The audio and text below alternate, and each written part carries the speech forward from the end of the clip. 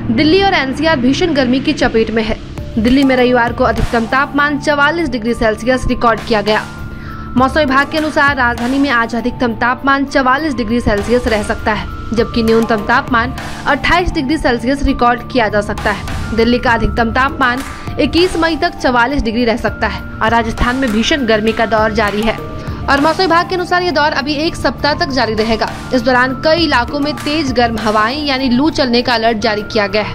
उत्तर पश्चिम भारत के विभिन्न हिस्सों में पड़ रही भीषण गर्मी अगले पाँच दिन और जारी रहने का पूर्वानुमान जारी किया गया है। राजधानी दिल्ली, हरियाणा, पंजाब के अलावा राजस्थान व उत्तर प्रदेश में इसका सबसे अधिक प्रभाव देखने को मिल सकता है।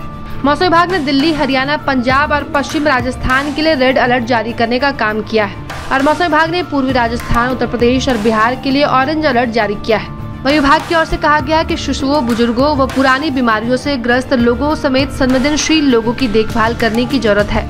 मौसम विभाग ने आने वाले दिनों में केरल में अत्यधिक भारी बारिश का पूर्वानुमान जताया है। वही मौसम विभाग के पूर्वानुमान के अनुसार 21 मई तक झारखंड के कई जिलों में गरज के साथ साथ बारिश की संभावना है। और बिहार के लोगों को अगले कुछ दिनों में गर्मी से कुछ राहत मिल सकती है।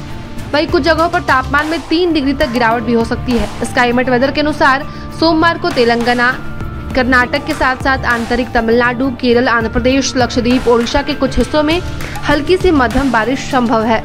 और कुछ जगह भारी बारिश हो सकती है। वही दक्षिण और उत्तरी छत्तीसगढ़, सिक्किम, पूर्वोत्तर भारत और दक्षिणी मध्य महाराष्ट्र में हल्की से मध्यम बारिश का पूर्वानुमान है। दक्षिणी मध्य प्रदेश और गुजरात में हल्की बारिश हो सकती है।